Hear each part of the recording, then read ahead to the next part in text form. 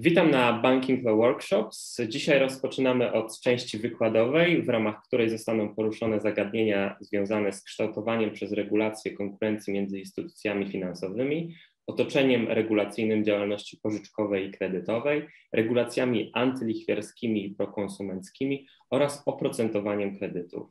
Druga edycja projektu powstała dzięki naszym partnerom Kancelarii Prawnej Sołtysiński, Kawecki, Szlęzak oraz bankowi PKO SA. E, po tym krótkim wstępie pozwolę sobie e, przedstawić naszego pierwszego prelegenta, który wygłosi wykład pod tytułem Jak regulacje kształtują konkurencję między instytucjami finansowymi. E, Dr Piotr Kuszewski jest absolwentem Szkoły Głównej Handlowej i dalej pozostaje związany z tą uczelnią jako adiunkt w Instytucie Bankowości SGH i kierownik podyplomowych studiów compliance w SGH. Piotr Kuszewski jest również prezesem Zarządu Powszechnego Towarzystwa Emerytalnego PZUSA. Panie doktorze, bardzo dziękuję za przyjęcie zaproszenia i oddaję panu głos.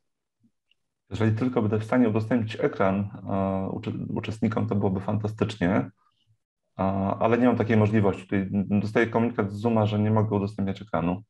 A, to może, może w takim razie ja muszę. E, Wydaje mi się, że tak. Tutaj. Y nadać rolę, o, nadaje rolę współprowadzącego, być może teraz. Teraz powinno zadziałać. Teraz jest szansa na to, na to żeby, żeby to zadziałało. Mam nadzieję, że Państwo widzicie.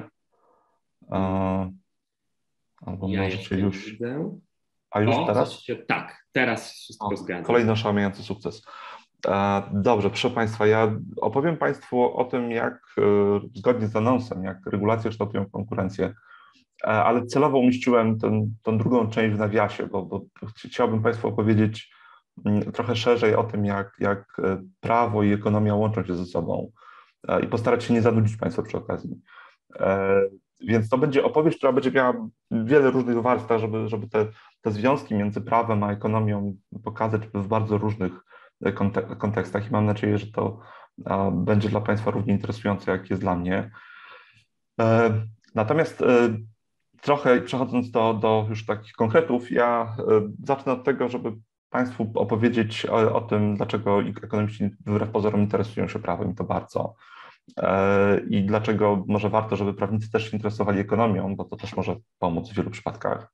Natomiast potem, żeby zilustrować, dlaczego tak uważam, e, opowiem Państwu kilka historyjek.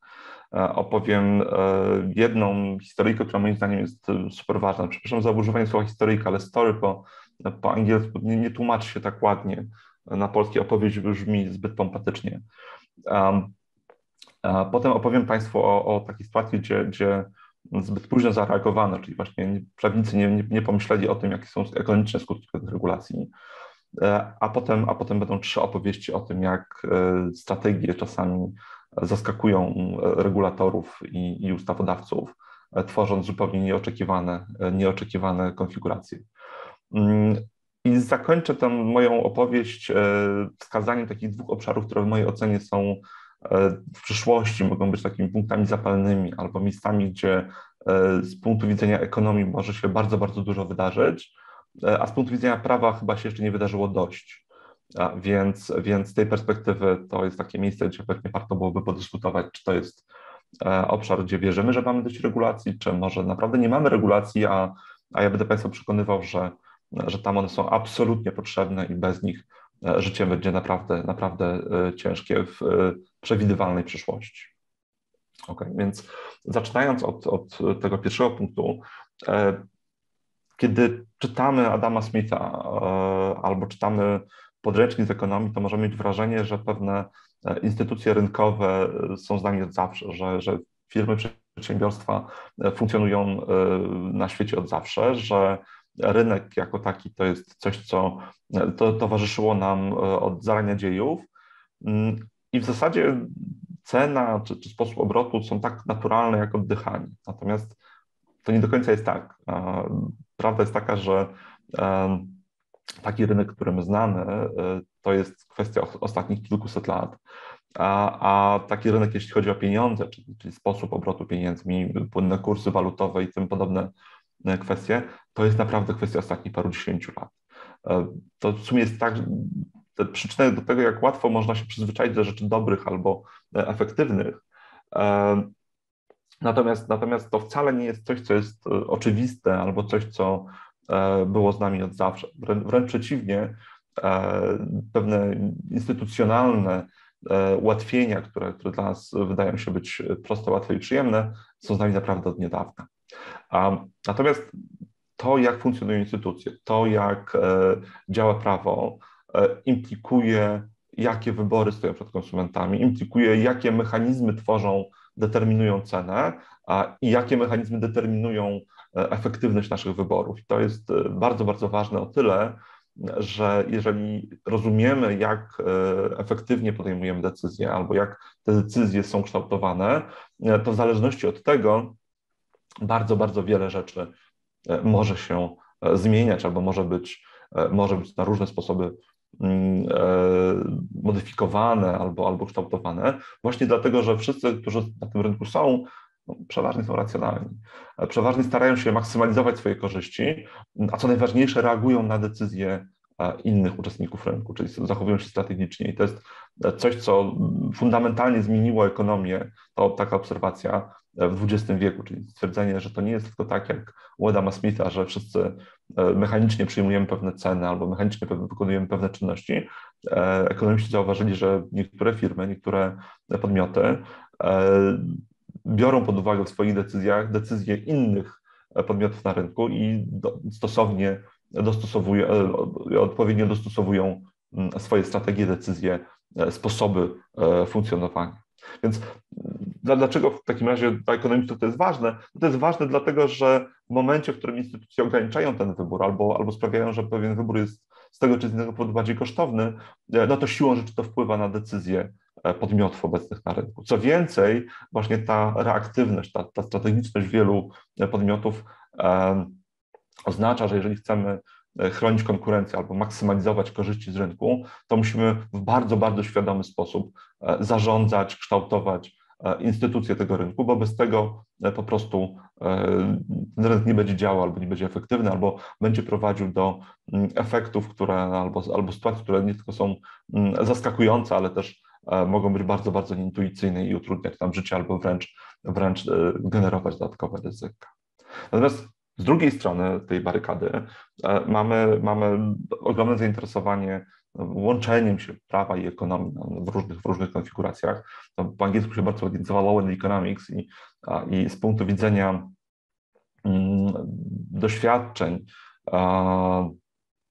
ekonomii to jest to olbrzymi, olbrzymi obszar w tym momencie, zwłaszcza, że on jest powiązany z, takim, z taką częścią teorii mikroekonomii, która jest bardzo, bardzo mm, e, intensywnie rozwijana przez ostatnich kilkadziesiąt lat, a mianowicie e, to jest ta, ta część mikroekonomii, która dotyczy struktur rynkowych, po angielsku Industrial Organization. I tam wszystko tak naprawdę zależy od instytucji. Co więcej, e, to jak wyobrażamy sobie korzyści płynące z pewnych e, ograniczeń dla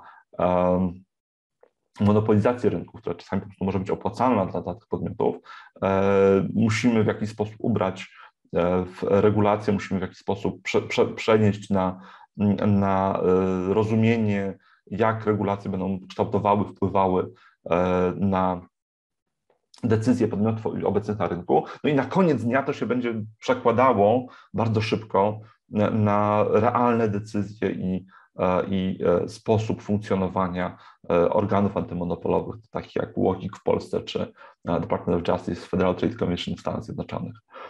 I to jest ten moment, kiedy prawo i ekonomia naprawdę idą ręka w rękę.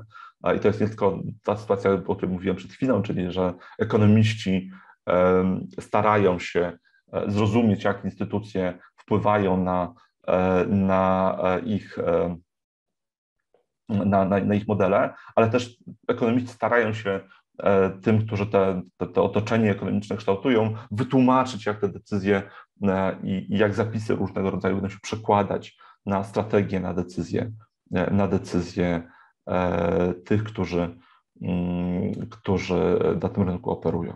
I to jest bardzo, bardzo ważny moment, bo, bo to jest moment, kiedy oczywiście wiedząc, jak wyglądają postępowania antymonopolowe, ostatnio e, Komisja Europejska na przykład intensywnie pracuje nad tym, żebyśmy mieli jedną wtyczkę do wszystkich e, urządzeń mobilnych. To jest wbrew pozorom bardzo, bardzo istotne. To, to ogranicza możliwości takiego zamknięcia konsumentów przez niektóre podmioty. E, z drugiej strony e, historycznie Microsoft był pod, pod ogromnym ostrzałem za to, że e, jego przeglądarka webowa była dużo, dużo silniej powiązana z systemem niż jakakolwiek inna i wiele, wiele innych podmiotów doświadcza właśnie taki, takiego, takiej uważności ze strony tych podmiotów właśnie dlatego, że, że pewne zachowania, pewne działania które mogą być korzystne dla przedsiębiorstwa, nie zawsze są korzystne dla rynku jako dla całości i właśnie tym się zajmują te podmioty. I tu jest ten moment, kiedy prawo i ekonomia e, zderzają się i mogą sobie pomóc wzajemnie, jeśli chodzi o to, jak patrzymy na rynki. Natomiast e, to jest dobry moment, żeby zacząć opowieść o nieprzewidzianych skutkach, czyli o tym, jak pewna regulacja mm, e, w sposób dramatyczny zmieniła świat, który, który znamy. Mm, e, I to będzie opowieść o prawniku, e, który zmienił e, nasze, nasz świat tak naprawdę i teraz Państwa będę przekonywał dlaczego. Osoba na rysunku to Sir Edward Coke, to jest bardzo, bardzo znany prawnik z elżbietańskiej, a, a potem, a potem z elżbietańskiej Anglii. Jedna z takich ikon common law. W ostatniej opinii sędziego Samuela Alito dotyczącej Rowan Wade, która, która pojawiła się w, w drafcie w dość nieformalny sposób e, w Sądzie Najwyższym Stanów Zjednoczonych. Jest on jednym z tych e, luminarzy common law, do których się sędzia Alito odwołuje. Natomiast e, John Adams, jeden z ojców założycieli, nazywał go wyrocznią prawa, the oracle of the law, i, i wskazywał na jego, na jego olbrzymi wpływ na, na kształtowanie systemu prawnego Stanów Zjednoczonych i a przede wszystkim Anglii. Sir Edward Coke był wykładowcą, był prawnikiem, był sędzią, był też parlamentarzystą w Anglii. Natomiast tak naprawdę takim wspólnym motywem wszystkiego, co robił, było budowanie e, rządów prawa i budowanie takiego systemu, gdzie, gdzie świadomość tego, że prawo jest przed monarchą, byłaby powszechna i, to, i, i dążył do tego, żeby to prawo rzeczywiście kształtowało e, funkcjonowanie całego, e, całego państwa. Ale takim aktem prawnym, który z naszej perspektywy jest najważniejszy, to Statute of Monopolies z 1624 roku. To jest akt prawny, który e, ogranicza możliwości nadawania patentów przez monarchę, a mianowicie wskazuje, że e, oryginalny pomysł powinien być zarejestrowany przez sąd i e, dzięki temu taki pomysłodawca może uzyskać patent, który będzie mu dawał wyłączność na czerpanie korzyści ze swojej innowacji, ale nie, nie na zawsze, tylko na określony okres czasu, bo potem, potem ta wiedza stanie się powszechna, nie będzie, nie będzie w żaden sposób chroniona.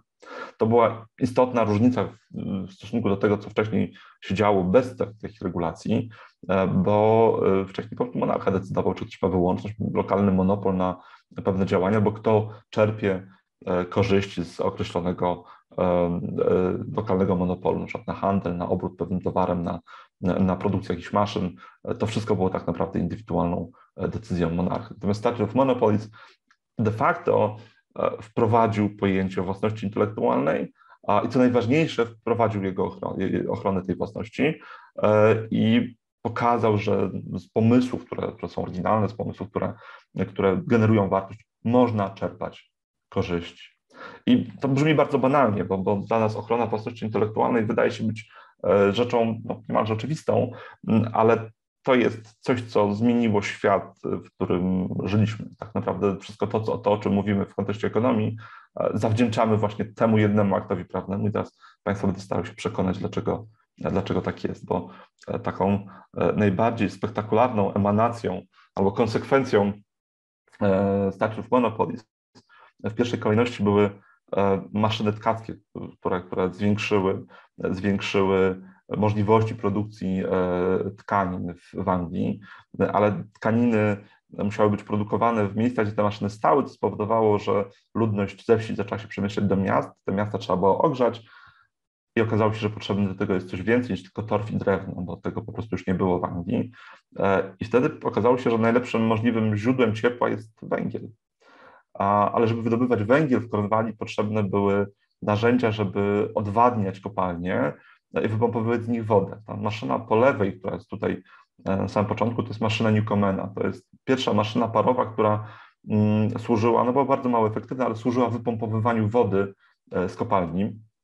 E, to, co jest ciekawe, to to, że ona wykonywała tylko taki ruch wahadłowy, lewo, góra, dół, E, i działała nie na zasadzie ciśnienia, ale na zasadzie podciśnienia. Ten, ten cylinder tutaj oznaczony literką B e, w pewnym po prostu był e, w pewnym momencie chłodzony, tam było wytwarzane podciśnienie, ono ściągało ten tłok w dół.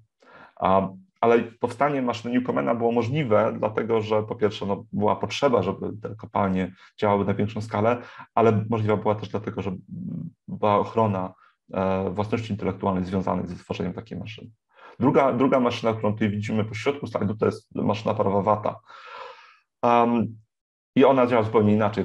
E, wygląda też dużo bardziej skomplikowanie, ale to jest parę ogromnych wynalazków, które zostały zapowiem, opatentowane i pojawiły się w związku z tą maszyną. Po pierwsze, ona nie działa już na podciśnienie, ale działa na ciśnienie. Ten, ten cylinder, który się pojawia po lewej stronie tej maszyny, on, on jest zatłaczany, e, zatłaczany parą podciśnieniem i, i to powoduje ruch, który, który, mm, który obraca e, później to, to koło, które też ma taki bardzo specyficzny mechanizm, który się nazywa Sun and Moons, czyli e, Słońce i, i, i Księżyce, który zamienia ten ruch wahadłowy góra-dół na, na ruch obrotowy. To wszystko były opatentowane wynalazki. Dodatkowo wynalazkiem, który był niezbędny, żeby, żeby to zadziałało, była stal. A maszyna parowa Newcomena nie wymagała stali, była, nie, nie, tam te siły nie były istotne, można było ten cylinder zrobić żelazo, natomiast w momencie, w którym e, budowano maszynę Wata, tam już potrzebna była stal, bo to po prostu wymagało dużo większej, mm, dużo większej wytrzymałości. No i oczywiście zwieńczeniem tych dwóch wynalazków jest, e, jest wynalazek z 1929 roku, rakieta Stevensona, pierwszy parowóz, który e, tak naprawdę powstał po to, żeby przewozić te tekstylia z e, Manchesteru dalej do, znaczy z Liverpoolu do Manchesteru, przewozić bawełnę, która potem była przetwarzana właśnie w tych wielkich szwalniach, tkalniach i, i, i to było um, kluczowe. I to są oczywiście takie super spektakularne wynalazki, pewnie e, te, które, które rzeczywiście sprawiły, że rewolucja przemysłowa stała się faktem, ale, ale ten proces zmian był dużo bardziej, e, dużo bardziej E, skomplikowane, tych wynalazków, które były istotne, było dużo, dużo więcej. Natomiast bez Statute of Monopolies e, to wszystko by się nie wydarzyło. Znaczy bez, bez tej jednej regulacji, która w pewnym momencie zagwarantowała ochronę pomysłów, e, które, które ludzie mieli, nie wydarzyłyby się wszystkie te wynalazki, a co najważniejsze, i tutaj dochodzimy do instytucji finansowych, nie wydarzyłyby się przedsiębiorstwa. Pierwsze przedsiębiorstwa, które znamy jako, jako rzeczywiście firmy, to są kompanie wschodnioindyjskie. Holenderska, która jest takim pierwowzorem spółki akcyjnej i brytyjska, która jest pierwowzorem e, korporacji.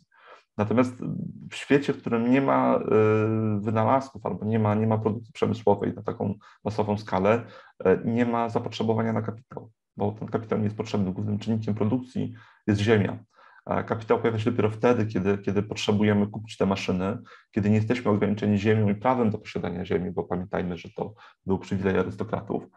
Um, I dopiero wtedy pojawiają się przedsiębiorstwa, które potrzebują kapitału, które potrzebują instytucji finansowych, które potrzebują e, możliwości e, zbudowania tej ramy, która zachęci inwestorów do, e, do udostępnienia swoich środków po to, żeby rozwijać jakąś działalność biznesową. Więc ta ochrona własności intelektualnej i, i możliwość opatentowania czegoś, co, co wymyśliliśmy, jest fundamentem gospodarki, którą znamy. Bez tego nie byłoby rewolucji przemysłowej, bez tego nie byłoby firm, bez tego dalej byśmy żyli z uprawy ziemi i, i de facto bylibyśmy społeczeństwami dominująco rolniczymi, a nie przemysłowymi albo, albo rozwiniętymi.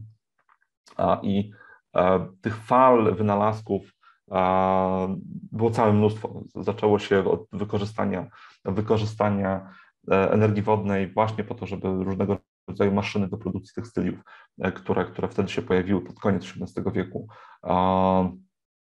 efektywnie wykorzystać. Potem w połowie XIX wieku pojawiło się wykorzystanie maszyny, maszyn parowych na ogromną skalę. Są te maszyny Fata, to dużo wcześniejsze są, ale, ale jeszcze wcześniej wtedy nie były one na masową skalę wykorzystywane i kolejne i kolejne wynalazki. To jest lawina, którą uruchomił Sir Edward Coke swoim Statute of Monopolies. Bez, bez tego nie byłoby tych wszystkich wynalazków, które, które tak istotnie wpłynęły na to, jak żyjemy, jak funkcjonuje świat, jak funkcjonuje mm, to, co nas otacza. Natomiast, żeby uzasadnić, dlaczego tak jest jeszcze, jeszcze mm, dodatkowo, kolejny wykres z The Economist, ten poprzedni też był z The Economist, przepraszam, nie podałem źródła, e, jest cała ogromna plejada e, badań i, i opracowań, które e, pokazują, że przeciętny poziom życia w, na świecie w zasadzie do rewolucji przemysłowej pozostawał pozostawał niezmieniony. To, to ten produkt krajowy brutto albo produkt globalny brutto pozostawał na niemalże niezmienionym poziomie albo zmieniającym się tylko wraz ze wzrostem populacji, która była w stanie po prostu produkować więcej, bo, bo więcej ludzi po prostu uprawiało ziemię. E, ta, ta zmiana była, była absolutnie nie, no, niemalże zerowa przez tysiąclecia. E, dopiero rewolucja przemysłowa, dopiero połowa XIX wieku, kiedy maszyny zaczęły być wykorzystywane na e, ogromną skalę, sprawiła, że wzrost gospodarczy, taki jaki my znamy, kilkuprocentowy rok w rok, stał się faktem. No i tutaj nie sposób nie powiązać tego właśnie z tym, że e, pojawiły się maszyny, pojawiła się zupełnie nowa forma pracy, pojawiły się przedsiębiorstwa, pojawiło się to wszystko, co ukształtowało gospodarkę, którą znamy po rewolucji przemysłowej.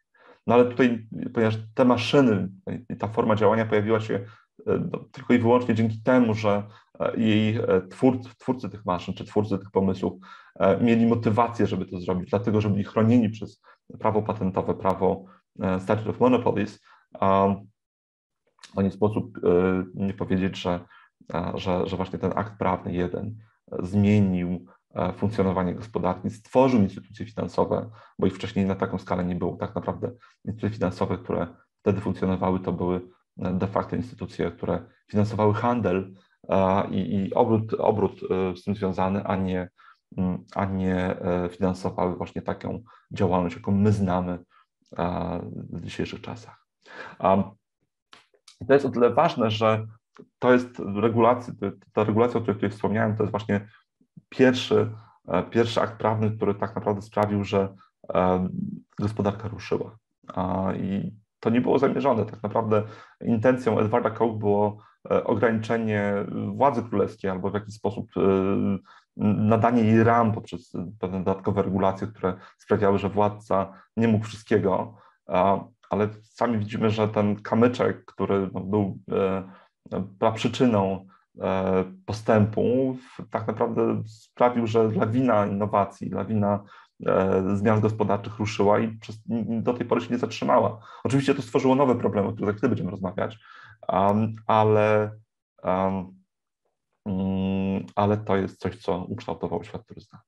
To jest przykład regulacji, która niechcący e, wygenerowała pewną, pewną wartość. Teraz opowiem Państwu o, o sytuacji, gdzie e, brak regulacji wygenerował pewną dużą katastrofę e, i gdzie brak zrozumienia, jak, jak strategia pewnych podmiotów zmienia się wraz z regulacją, doprowadził do tego, że, że cały rynek stracił albo, albo bardzo, bardzo wiele ludzi, ludzi straciło bardzo, bardzo dużo,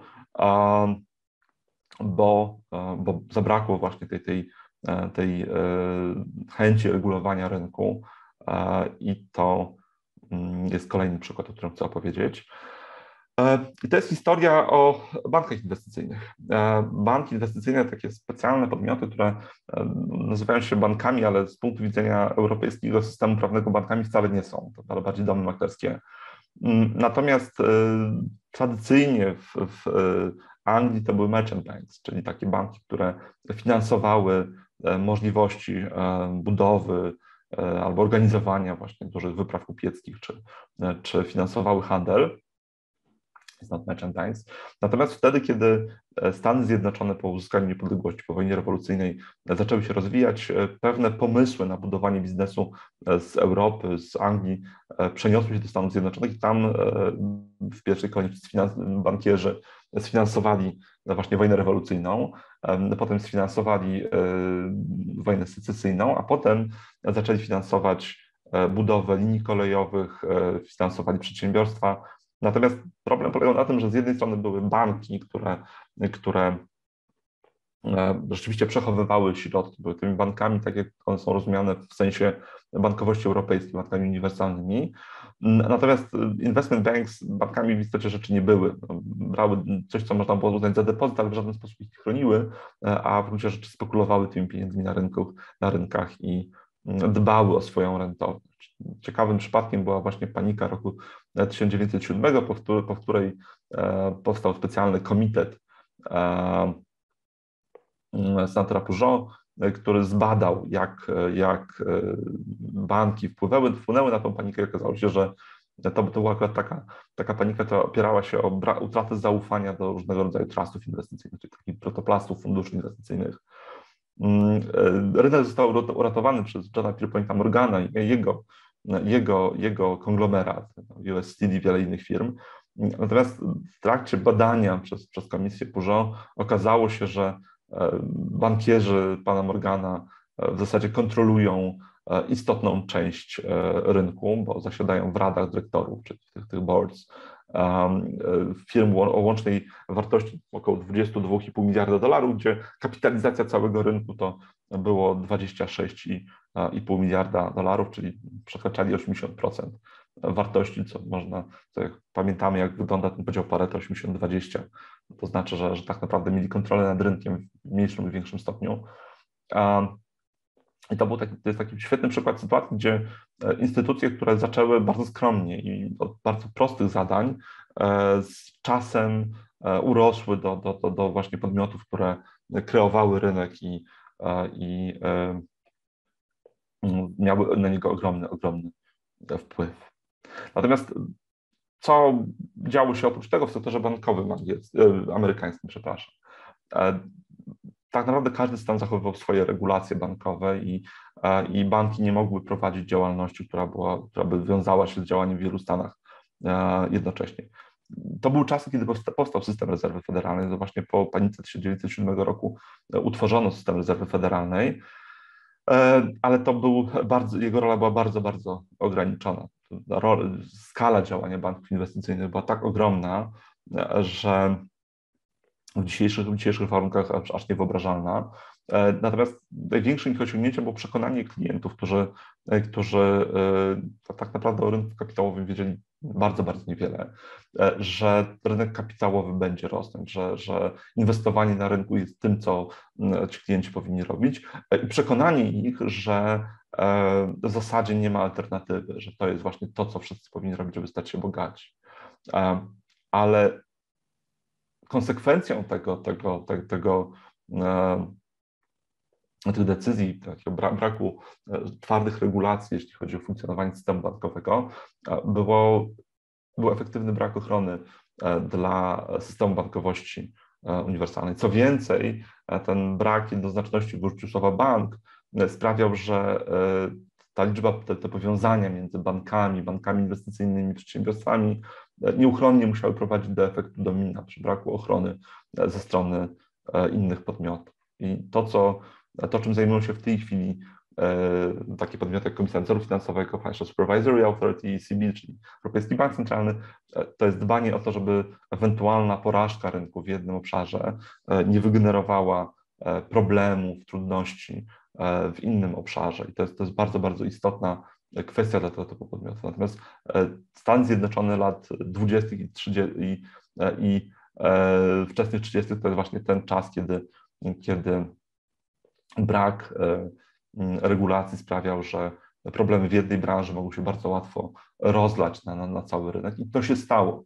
E, I to się stało, stało się w roku 2029, e, gdzie problemy rynku kapitałowego rozlały się na system bankowy, rozlały się na przedsiębiorstwa.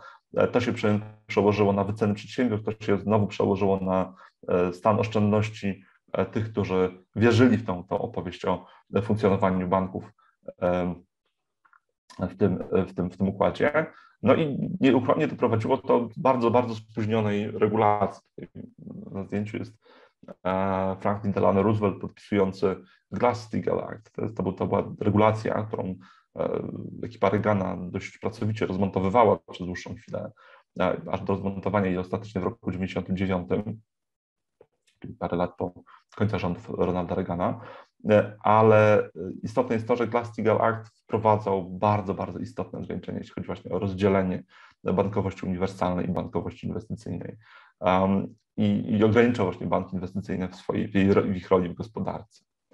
Um, natomiast to jest, to jest regulacja, która była spóźniona. To znaczy, to, to był ten moment, kiedy prawnicy zorientowali się, jak bardzo e, trudne, może trudne mogą być albo bolesne konsekwencje e, funkcjonowania podmiotów, które mają ogromną władzę i ogromną siłę rynkową, e, wtedy, gdy e, nikt ich nie reguluje, nie pilnuje, nie ogranicza, nie sprawia, że są one mm, pilnowane i w jakiś sposób wewnętrznie, wewnętrznie ograniczane właśnie po to, żeby, żeby nie były w stanie do,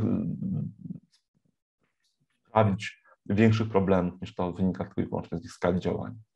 Teraz Glass-Steagall był o, o tyle ważny, że przez e, następnych parędziesiąt lat kształtował funkcjonowanie bankowości inwestycyjnej w Stanach Zjednoczonych na świecie. E, oczywiście nie zapobiegał kolejnym e, kryzysom, ale, ale, ale ograniczał ich, ich działanie. I to jest regulacja, która była spóźniona. To jest regulacja, gdzie ta siła podmiotów na rynku sprawiła, że ona nie powstała wcześniej, a wtedy, kiedy już wszystko płonęło i rynek się walił, ona była tak naprawdę troszeczkę spóźniona. I mamy za sobą opowieści o dwóch regulacjach. Jedna e, była e, wywołanie nieprzewidziane konsekwencje, druga miała bardzo przemyślane konsekwencje, ale, ale była zbyt późno. E, to jest taka, taki scenariusz, gdzie, z którym się będziemy mierzyć na bieżąco, bo, bo bardzo wiele regulacji właśnie albo jest nie do końca mm, budowany ze świadomością e, skutków, konsekwencji i efektu, ale są też regulacje, które są e, reaktywne, są, są de facto odpowiedzią na, na problemy, które już są e, i których można byłoby uniknąć, gdyby ci, którzy stanowią prawo albo, albo rozmawiają o, o regulowaniu rynku finansowego, rozumieli ekonomiczne konsekwencje pewnych decyzji albo ekonomiczne konsekwencje niepostawienia pewnych barier, jeśli chodzi o działanie istotnych graczy. Tak? I to jest akurat ten moment, kiedy możemy porozmawiać o, o, o trzech y, przypadkach, gdzie strategiczne skutki regulacji nie zawsze są takie, jak wyobrażali sobie e, ustawodawcy albo ich twórcy, e, i porozmawiać o tym, jak, jak e, możemy myśleć w ogóle o tych regulacjach, które nas dotykają na bieżąco, które dotyczą nas w tym momencie i dotyczą właśnie instytucji finansowych, które znamy, które nas otaczają. Pierwszą taką regulacją, która jest bardzo, bardzo ważna, to jest, to jest dyrektywa MIFID. I tutaj jeden tchem wymieniam, wymieniam trzy regulacje. Dyrektywa MIFID, czyli Markets in Financial Instruments Directive, e, to regulacja sprzed parunastu lat, która dyrektywa Komisji Europejskiej, która wprowadzała pewne obowiązki, jeśli chodzi o weryfikację potrzeb klienta. No, tak naprawdę wymuszała na instytucjach finansowych udokumentowanie tego, że, że potrzeby klienta, jego, jego, jego rozumienie tego, co robi, zostało w jakiś sposób zweryfikowane. To miała być ochrona przed mis-sellingiem, przed, przed, mm, przed sprzedażą produktów, które w, danym, w, danej w danej konfiguracji nie są potrzebne albo, albo wręcz są, są, są niepożądane. I to była regulacja, która początkowo y, była źródłem e, wielu narzekań i, i, i takich bardzo negatywnych opinii ze strony rynków finansowych, że od tego momentu to już w zasadzie nic się nie da sprzedać, no bo za każdym razem trzeba będzie klienta zapytać, czy rozumie, co robi e, i czy wie, e, wie jakie są konsekwencje pewnych decyzji, to w ogóle uniemożliwi sprawny proces sprzedażowy. Z czasem okazało się, że to oczywiście jest nieprawda i to takie straszenie tylko e, negatywnymi konsekwencjami. Klienci nie mieli problemu z tym, żeby wypełniać ankiety na temat tego, co rozumieją, a czego nie rozumieją i rynki działały normalnie. Tutaj nie nic spektakularnego, pomimo, pomimo e, mm, różnych, różnych e, bardzo negatywnych e, prognoz się nie ziściło. Natomiast MIFID tak naprawdę stanowił, stanowił pierwszy krok, jeśli chodzi o, o, o zbudowanie pewnej, pewnej tamy dla, dla ochrony klienta, szczególnie jeśli chodzi o produkty finansowe. Tak? Oczywiście taka ochrona klienta, która dotyczy produktów przemysłowych czy, czy, czy, czy, różnego rodzaju usług, to istnieje bardzo, bardzo dawno, natomiast produkty finansowe zawsze były traktowane troszeczkę, troszeczkę inaczej i MIFID był pierwszą próbą w, na poziomie europejskim uregulowania i tego obszaru i ochrony klienta, który nie zawsze musi w świadomy sposób rozumieć, jak wygląda ta, trans, ta transakcja, którą zawiera, albo jakie są jej konsekwencje. Natomiast kolejne podejście do, do, do, do mm, regulacji, które, które akurat może, może być istotne, e, to RDR. RDR nie jest regulacją europejską, RDR to jest Retail Distribution Review, e, który jest regulacją brytyjską. E, natomiast RDR to taka pierwsza przymiarka do, do, do MIFID 2, o którym za chwilę opowiadał.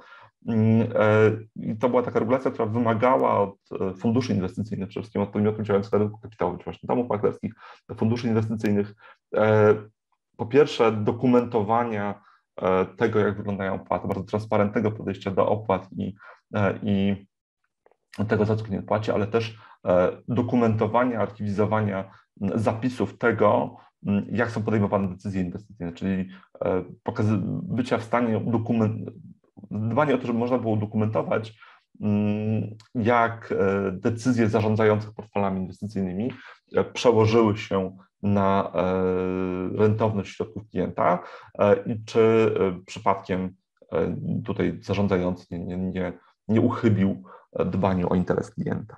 Natomiast ta regulacja sprawiała, że, że ilość dokumentów niezbędnych albo, albo, albo pewnych archiwów, które trzeba było przygotować w ramach istniejących w Anglii, Wielkiej Brytanii funduszy inwestycyjnych gwałtownie wzrosła. I teraz oczekiwanie regulatora, czyli FSA, było takie, że no, to jest niezbędne, żeby chronić klienta, wobec tego e, wszyscy będziemy się musieli z tym pogodzić, ale to najprawdopodobniej będzie oznaczało, że e, małe fundusze, mm, e, które no, operują na niewielką skalę, czasami z, z bardzo ograniczonymi zasobami, najprawdopodobniej będą musiały się połączyć z większymi, bo po prostu nie będą w stanie udźwignąć kosztu wdrożenia tej nowej regulacji.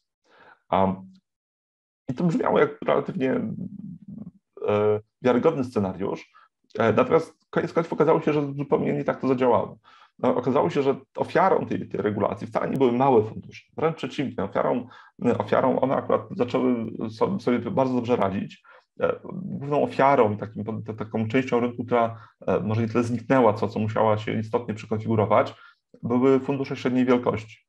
Dlaczego? Dlatego, że okazało się, że no to już były już XXI wiek, więc okazało się, że, że te małe fundusze po prostu musiały przemyśleć swoją infrastrukturę technologiczną, musiały przestać działać metodami chałupniczymi, ale to oznaczało, że po prostu kupiły gotowe systemy do zarządzania swoimi portfelami, które uwzględniały wymogi e, wynikające właśnie z RDR, e, jeśli chodzi o dokumentowanie pewnych decyzji. Natomiast te małe fundusze miały relatywnie standardowe produkty, miały relatywnie e, stabilnych klientów i same też, że tak powiem, były sobie w stanie poradzić w tych prostych narzędziach, których, o których tutaj mówimy. Zupełnie inaczej wyglądało to z perspektywy funduszy średniej wielkości. One były zbyt duże, żeby w łatwy sposób wdrożyć takie gotowce, mm, a jednocześnie zbyt małe, żeby w pełni unieść wysokie koszty zmiany wszystkich systemów informatycznych właśnie po to, żeby tam te dodatkowe archiwizowanie, dodatkowe, e, dodatkowe możliwości dobudować. Natomiast co to oznaczało? To oznaczało, że te średniej wielkości fundusze po zaczęły się łączyć e, z e, tymi dużymi albo, albo redukować swoją, e, swoje, swoje działanie po to właśnie, żeby być w stanie zastosować takie wystandaryzowane narzędzia, czyli no de facto ograniczały swoją, swój apetyt na, na wolumen. Oczywiście duże fundusze w tym przypadku no, zbudowały niezbędne, niezbędne narzędzia, dalej funkcjonowały bez większych problemów. Natomiast to, jest, to była bardzo nieoczekiwana reakcja rynku versus to, co przewidywał regulator. Regulator oczekiwał, że pozbędzie się e, mnóstwa małych problemów e, na rzecz funkcjonowania większych podmiotów. Okazało się, że tych małych problemów się nie pozbył, e, natomiast zniknęły te średnie podmioty, które zawsze były zagrożeniem dla tych dużych, jeśli chodzi o ich monopolizację albo, albo wpływ na rynek a jednocześnie nie pozbyto się, nie zniknęły te, te bardzo małe podmioty, one po prostu zmieniły sposób podejścia do, do, do archiwizowania danych finansowych.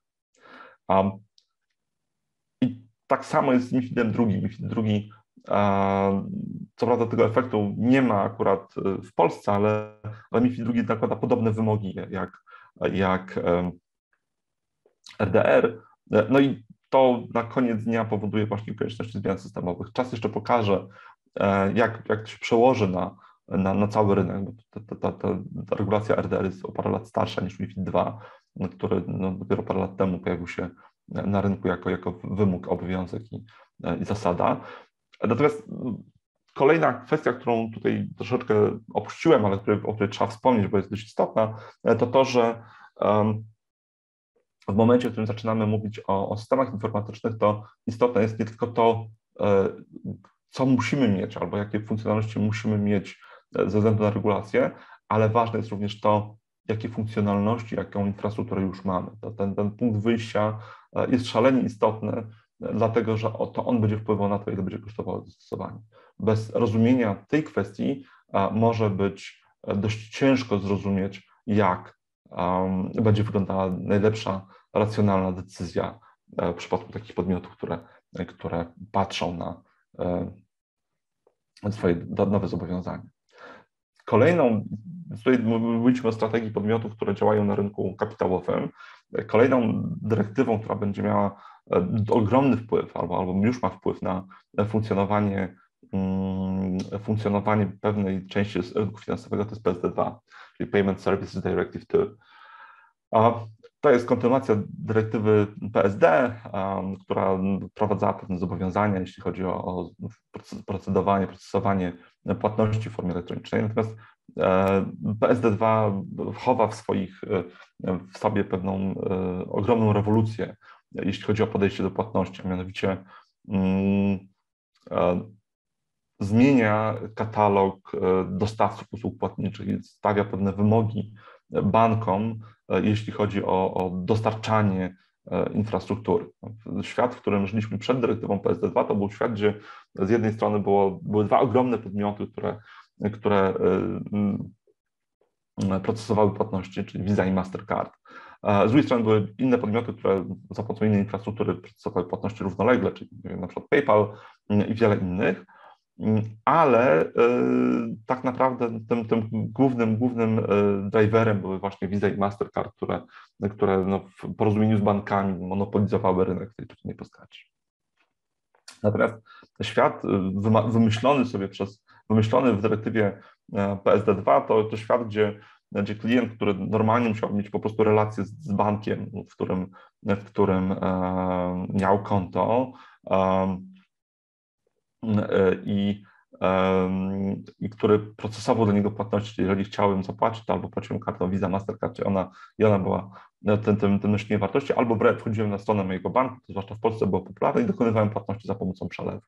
No, w Polsce, ponieważ do pewnego momentu te wypukłe karty, które umożliwiały użycie właśnie mm, e, w sieci nie były zbyt popularne, wymyślono albo stworzono cały, całą plejadę rozwiązań, które pozwalały płacić bezpośrednio z rachunku bankowego, szybko, bezpiecznie i to była ta, ta, ta taka polska specyfika.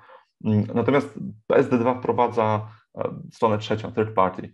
Um, i, I ten third party payment processor um, jest podmiotem, gdzie albo jest, tak, jest podmiotem, któremu nasz klient może dać prawo e, do inicjowania płatności. Może też dać prawo do do podglądu stanu rachunku albo, albo wykonywania pewnych operacji na rachunku, e, a bank, który, w którym mamy, mamy rachunek, ma obowiązek dostarczenia pewnego wystandaryzowanego e, API, czyli Application Programming Interface, e, które, które będzie pozwalało właśnie tym trzecim podmiotom w pewnych, w pewnych ramach de facto wykonywać operacje na rachunku klienta. Czyli to oznacza, że PSD2 wprowadza świat, w którym ta główna przewaga banków, którą mają od wielu, wielu lat, znika. Bank ma unikalną cechę na tle całego rynku finansowego, a mianowicie jest to jedyna e, instytucja, z którą dobrowolnie, chętnie, e, niemalże codziennie mamy kontakt, płacąc, sprawdzając stan rachunku, e, dokonując przelewów, robiąc bardzo, bardzo wiele operacji, zwłaszcza jeśli chodzi o bankowość mobilną i elektroniczną, kiedy ona jest no, dobrej jakości. Nie ma, nie ma żadnej drugiej instytucji bankowej, instytucji finansowej, z którą mielibyśmy tak częsty, e, niewymuszony kontakt jak z bankami. Więc z perspektywy przewagi, przewag konkurencyjnych, pojawienie się tego pośrednika dla banków jest absolutnie gigantyczną rewolucją i może być naprawdę bolesnym, bolesnym wydarzeniem. Natomiast reakcje banków w różnych częściach Europy są naprawdę różne, jeśli chodzi o, o, o tą dyrektywę, bo okazuje się, że główny konkurent, którym jest fintech z tej perspektywy, różnie funkcjonuje na różnych rynkach. A takim, takim e, leitmotivem, który się przewija w opowieści na temat bankowości, na temat rynków finansowych, to jest właśnie mówienie o tym, że e, no, mamy te stare, zastane instytucje, które są mm, przeregulowane, które są e, zbyt ciężkie, a jest całe mnóstwo nowych, to jest akurat rysunek z 2020 roku, teraz można byłoby go wypełnić jeszcze wieloma, wieloma innymi podmiotami, to jest 250 największych albo najbardziej rozpoznawalnych, ale to są tysiące, jeżeli nie miliony podmiotów, które próbują dostarczyć różnego rodzaju usługi.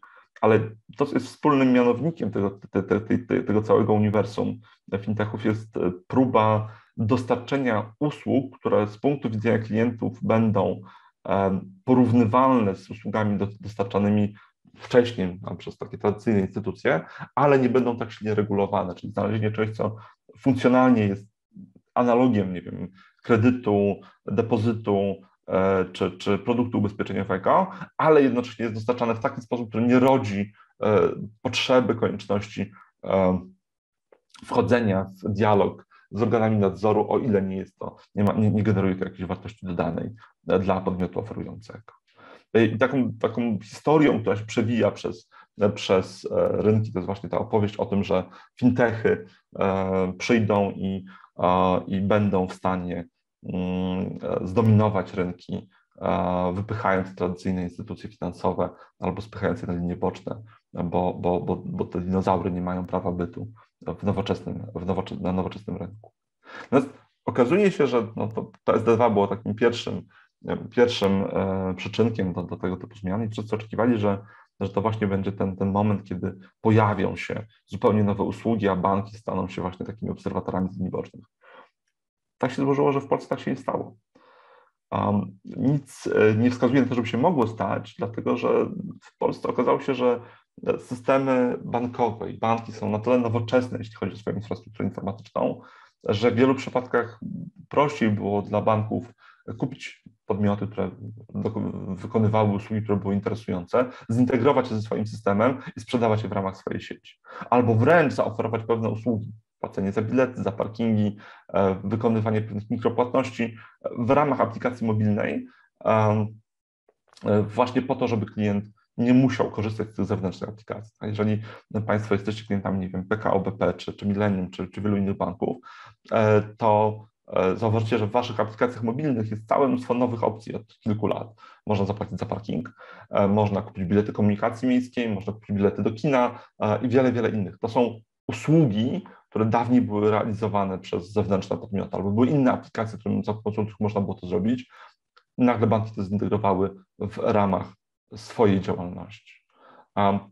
I to pokazuje, że w momencie, w którym wprowadzamy taką regulację, która ma otworzyć rynki dla, dla innych podmiotów, to musimy też dobrze rozumieć, e, jak zachowają się te podmioty, które już na tym rynku są. Tak? E, e, okazało się, że polskie banki po prostu mają tak nowoczesne systemy informatyczne, że, że um, skompensowanie tego, mm, tej, tej, tej, tej, tego dystansu do fintechów nie było większym problemem. Tak? W wielu przypadkach po prostu banki wykorzystały swój potencjał, żeby rozbudować swoje, swoje aplikacje czy swoje możliwości, jeśli chodzi o oferowanie innych usług, po prostu je zaoferowały.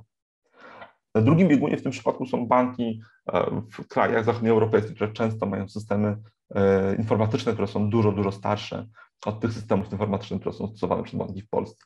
E, czyli są dalece trudniej modyfikowalne albo integrowalne z nowymi rozwiązaniami. To prowadzi do takiej sytuacji, gdzie po prostu efektem wprowadzenia łatwiejszego dostępu naszego rachunku jest tylko i wyłącznie no, potencjalne przeniesienie tego punktu kontaktu do innego podmiotu, E, i, mm, i tak naprawdę zatrzymanie się banków tam, gdzie były, tak? bo banki w tym układzie e, mogłyby nie być w stanie dogonić tej, tej, tej, tej, tej awangardy tego, tego frontu technologicznego fintechów i po prostu muszą się z nim pogodzić, muszą stać się podmiotami, to są dawcami kapitału, dawcami środków, zarządzają tą, tą regulowaną częścią, ale, ale nie e, biorą korzyści, nie dostają korzyści z tej renty technologicznej, która, która się pojawia w kontekście właśnie nowych. A trzecią regulacją, która e, wpływa na nasze codzienne życie, to akurat nie jest regulacja w sensu stricte, tylko to jest soft law, czyli rekomendacja U. E, Komisja Nadzoru Finansowego ma wyjątkową miłość do, do całego alfabetu, niemalże jak ulica Sezamkowa. Tutaj wszystkie możliwe literki są mm, prawie że wykorzystane, e, ale z punktu widzenia mm, konsekwencji ciekawa w mojej, w mojej ocenie jest rekomendacja U, czyli rekomendacja, która, która służy uregulowaniu usług e, bank assurance, tak naprawdę służy uregulowaniu dystrybucji, dystrybucji produktów ubezpieczeniowych poza siecią ubezpieczeniową przez wiem, inne, e, inne podmioty, a w szczególności przez banki, e, po to właśnie, żeby klienta, klient ubezpieczeniowy dokładnie wiedział, co kupuje. No, okazało się, że brak regulacji sprawił, że banki starały się czerpać korzyści z oferowania usług bankowych i to czerpanie korzyści sprowadzało się do tego, że oferowano produkty w formie grupowej, oferowano je w taki sposób, że klient nie miał wglądu e, w ogólne warunki ubezpieczenia, miał bardzo ograniczoną możliwość kontrolowania produktu, a jednocześnie banki wymagały takich produktów, które nie można było kupić nigdzie indziej poza e, siecią bankową. E, co więcej, banki nadużywały troszeczkę swojej roli, jeśli chodzi o, o to, kim one są, tak? bo, bo, bo w momencie, w którym nie mamy taką niedodefiniowaną rolę, to, to można tak naprawdę e, pokazywać to, że, że pracownicy banku nie są agentami e, albo osobami wykonującymi czynności agencyjne, w związku z powyższym no nie ponoszą odpowiedzialności za pewne problemy, e, a jednocześnie no właśnie to sztywne wiązanie produktu bezpieczeństwa produkt bankowy otwiera drogę do, do czerpania korzyści właśnie z klientów, którzy są no muszą podjąć taką decyzję, żeby, żeby kupić taki produkt. Szczególnym przypadkiem tego typu produktów e, były, były produkty e, quasi depozytowe, np. antybelki, czy e, to, to, takie, to były takie produkty, które wydawały się być depozytem, a w istocie rzeczy były ubezpieczeniem na życie, na życie jednorocznym, które po prostu wiązało się z, no, z deponowaniem środków w banku, ale pozwalało uniknąć podatku belki który wtedy nie, nie obejmował tego typu ubezpieczeń. To, co było istotne, to to, że, że dla Komisji Nadzoru Finansowego e, taki produkt e, był potencjalnie bardzo, bardzo groźny, bo on wiązał ryzyko banku z ryzykiem ubezpieczyciela na bardzo różne sposoby. Dlaczego? Dlatego, że w momencie, w którym bank miałby problemy, to klient kupił ten, który kupił ten produkt w banku, przyszedł do banku po wypłatę, tam się dowiedział, że powinien iść do ubezpieczyciela, poszedł do, do, do ubezpieczyciela, ubezpieczyciel miałby obowiązek wypłacić e, w horyzoncie miesiąca, ale jednocześnie nie byłby w stanie wypłacić pieniędzy z banku, bo tam miałby inne zobowiązania. I efekt końcowy w tym przypadku byłby taki, że, że coś, co wynikało z braku zaufania do banków, e, przełożyłoby się na um, problemy finansowe ubezpieczycieli, co było bardzo, bardzo e, niewygodne dla Komisji Nadzoru Finansowego i w związku z tym no, tutaj uregulowano pewne, pewne niuanse po to, żeby, żeby temu zapobiec albo żeby nie było cienia mm, e, problemu, jeśli chodzi o funkcjonowanie tych rynków. E, co sprawiła rekomendacja U? Rekomendacja U sprawiła, że nastąpiły głębokie zmiany, jeśli chodzi o produkcję, dystrybucję produktów ubezpieczeniowych. Banki przestały, no, ograniczyły swoją ekspansję w tym obszarze, no ale klienci zostali, zostali postawieni w sytuacji, gdzie ta presja na, na zakup produktu ubezpieczeniowego w banku stała się zdecydowanie, zdecydowanie mniejsza, więc tutaj akurat ta rekomendacja osiągnęła swoje, swoje zamierzenia. Oczywiście znowu troszeczkę spóźniona, troszeczkę po czasie.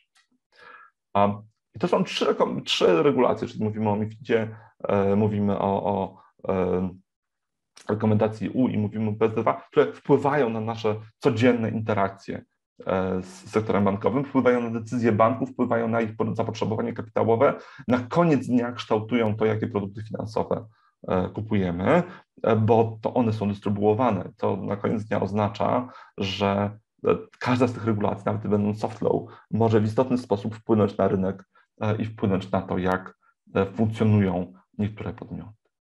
Ale teraz, jak już widzimy, że są regulacje, które E, no, niechcący wywołują pewne efekty. Są takie, które e, no, są zaniedbane i powinny być, a ich nie ma, ale z czasem się pojawiają, a są takie, które prostu temu, że na, na czas zidentyfikujemy problem i wprowadzamy je, no to warto byłoby się zastanowić to, co dalej.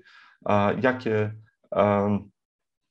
kolejne, kolejne obszary ekonomii albo, albo rynku są tymi punktami zapalnymi, gdzie, gdzie patrząc z perspektywy regulacji prawa, warto byłoby się zastanowić, takie dwa, które w mojej ocenie są, są super istotne, mm, to dobre zrozumienie, jak regulować informacje, albo jak regulować e, to, jak obracamy informacją.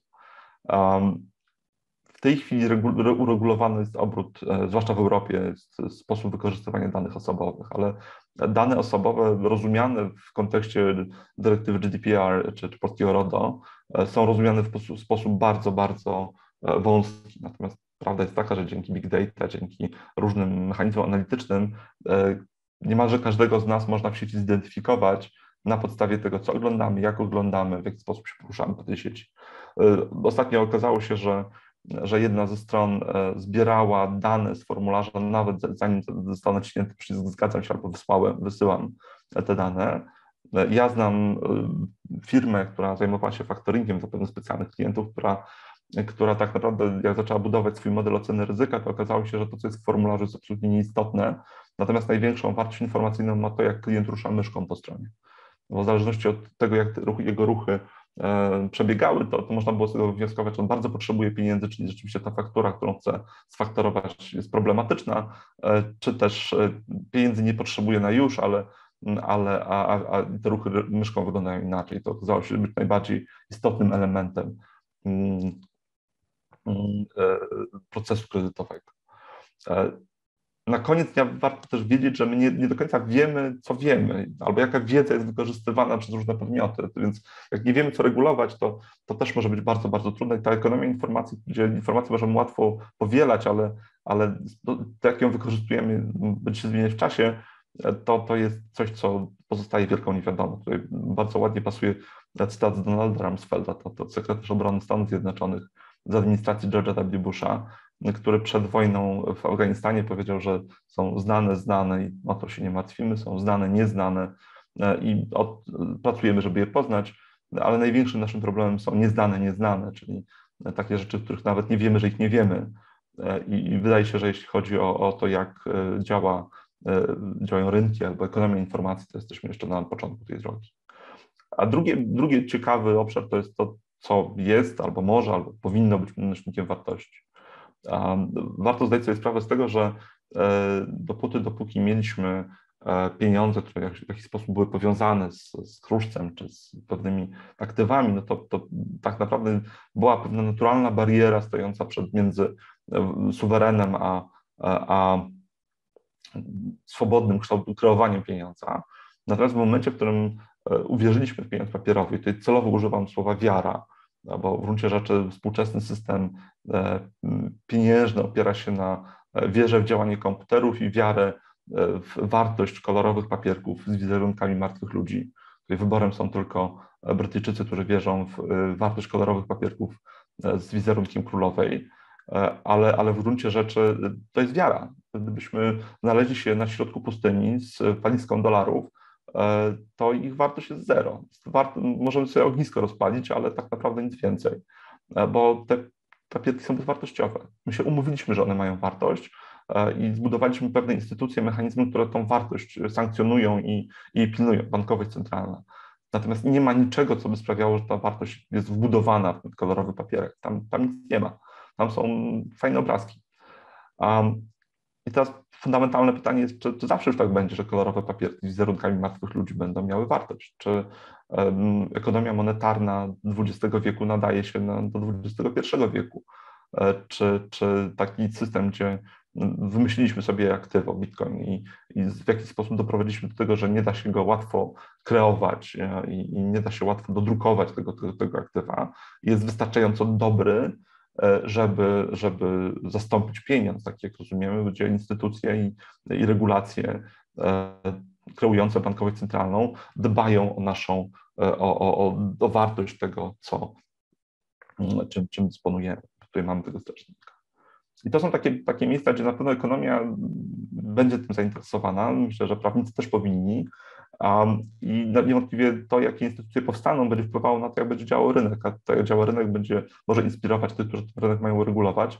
Znowu jest to kolejne miejsce, gdzie prawo i ekonomia będą się zderzać e, i gdzie będziemy obserwowali kolejne, e, kolejne etapy właśnie rozwoju rynku. I z mojej strony to wszystko. Wydaje mi się, że się zmieściłem plus minus dokładnie tak w czasie, tak jak planowałem. Um, Mam nadzieję, że pokazałem Państwu, że, że prawo i ekonomia idą rękę w rękę. To znaczy, nie da się myśleć o, o rynku bez zrozumienia instytucji, bez zrozumienia tego, co go reguluje. A jednocześnie, jeżeli chcemy zrozumieć, jak ten rynek będzie działał, jeżeli wprowadzimy regulacje, to musimy bardzo dobrze rozumieć e, teorię ekonomii, rozumieć, jak strategiczne wybory e, podmiotów obecnych na tym rynku będą kształtowały coś, co bardzo ładnie nazywa równowagą, a tak naprawdę jest wynikiem właśnie działania instytucji i funkcjonowania rynku. Dziękuję Państwu bardzo. E, panie doktorze, bardzo dziękuję za, za ciekawy wykład i taki rzut historyczny, ale też na, na regulację e, rynku finansowego. Myślę, że to było bardzo ciekawe, na pewno, e, na pewno z mojej perspektywy. Ja mam pytanie, czy ktoś z Państwa być może ma pytanie do, do Pana doktora, do tego wykładu?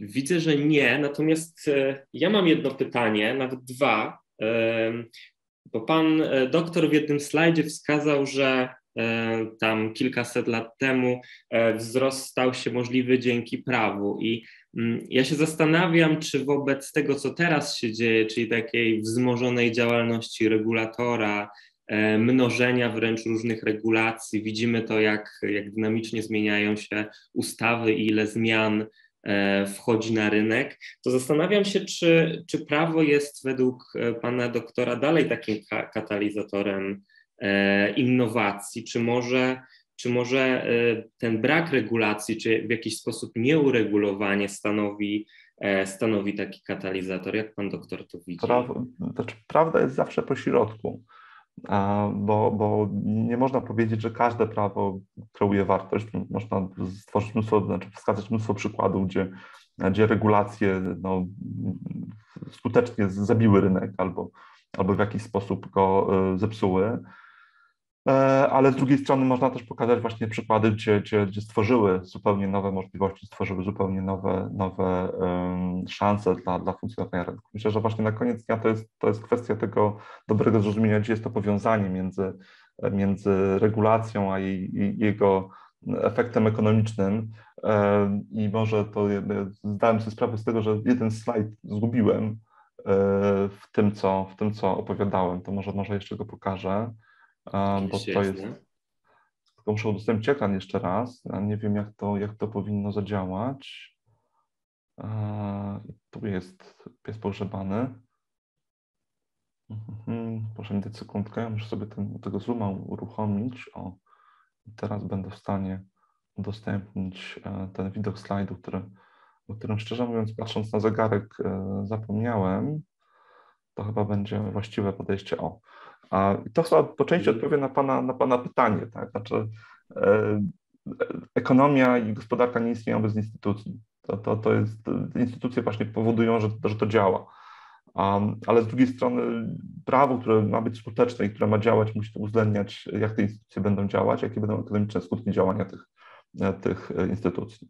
Więc to jest właśnie powód, dla którego prawnicy powinni uczyć się ekonomii, a ekonomiści powinni uczyć się E, prawa i to rozumiejąc jego strukturę i nie tylko, nie tylko bieżące regulacje, ale też próbując zrozumieć, jak to prawo jest tworzone i w którym momencie trzeba uświadamiać e, ustawodawcę, legislatora, jakie są konsekwencje ich decyzji.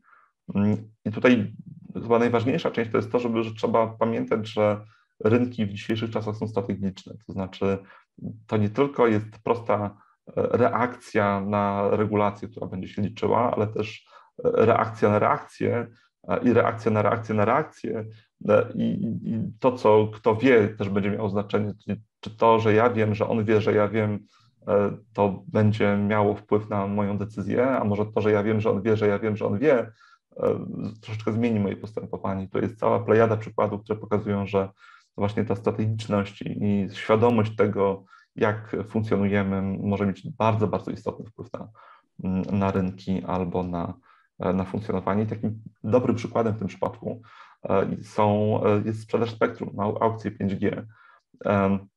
Mechanizmy aukcyjne, które są budowane właśnie pod tego typu procesy, są oparte o bardzo, bardzo poważną część ekonomii teorii aukcji.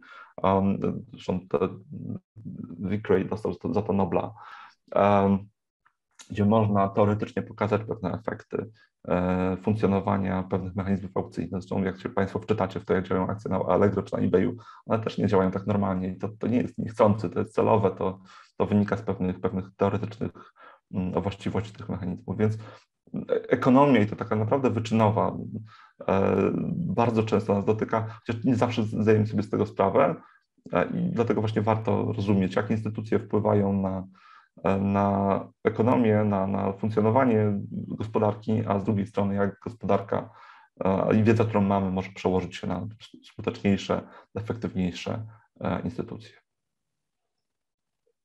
E, to dziękuję e, za odpowiedź na to pytanie. Jeszcze mam jedno pytanie, bo mówił pan doktor o, o tej regulacji Glass-Steagall Act, która była spóźniona. E, I mam wobec tego pytanie, czy teraz e, dostrzega Pan e, doktor w sektorze finansowym jakiś obszar, który należałoby uregulować, a, a jeśli nie, nie, nie zrobimy tego niezwłocznie, to być może być może będzie to się wiązało z jakimiś negatywnymi konsekwencjami i przez to będziemy mogli w przyszłości uznać, że wprowadzenie takiej regulacji było opóźnione. No to są te dwa obszary, o których mówiłem na poprzednim slajdzie. Wydaje mi się, że właśnie zrozumienie tego, jak informacja nas dotyka, albo jak jest gromadzona i wykorzystywana w stosunku do, do, do, do, do, konsumentów, to jest coś, co powinniśmy zacząć regulować. To nie tylko w kontekście tak bardzo rudymentarnie rozumianych danych osobowych, ale w kontekście w ogóle informacji, bo czasami dzięki mocy obliczeniowej współczesnych komputerów możemy za pomocą informacji powiązanej z nami naprawdę zidentyfikować konkretne osoby i konkretne reakcje, konkretne działania. E, tak samo to, to co jest nośnikiem wartości, to jest właśnie coś, co, mm, coś, co jest wielką, wielkim pytaniem, e, które no, będzie kształtowało to, jak będą, będą działały rynki finansowe.